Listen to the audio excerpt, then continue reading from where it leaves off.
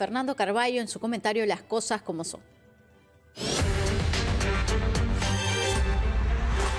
Las elecciones que tendrán lugar el domingo 28 de julio en Venezuela pueden tener una repercusión sobre toda la región latinoamericana. Por una parte, porque está en juego el restablecimiento de la democracia en un país que hace 25 años pretendió inventar una variante del internacionalismo populista que se tradujo en dictadura, corrupción y empobrecimiento, el llamado chavismo.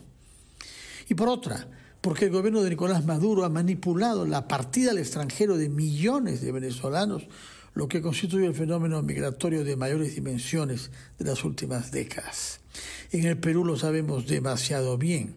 De la misma manera que sabemos que si el gobierno de Venezuela no colabora, tendremos crecientes problemas con las bandas criminales originadas en Venezuela.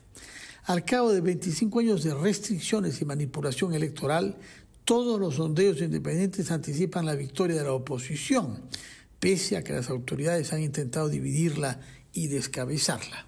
De hecho, la muy popular María Corina Machado no ha podido postular, aunque la oposición logró unirse en tono al diplomático y profesor Edmundo González Urrutia. El presidente saliente Nicolás Maduro ha llegado a decir que si no gana el chavismo, correrán ríos de sangre. Semejante amenaza ha hecho salir de su prudencia al presidente brasileño Lula, quien ha explicado a Maduro que cuando uno pierde se tiene que ir.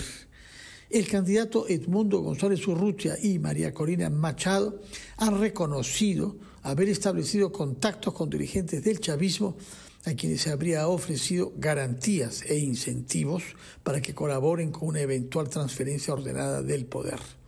Ambos dirigentes se han dirigido también a los jefes de las Fuerzas Armadas para que respalden la transparencia del voto y no se vean tentadas de ceder a eventuales maniobras fraudulentas. Las cosas como son.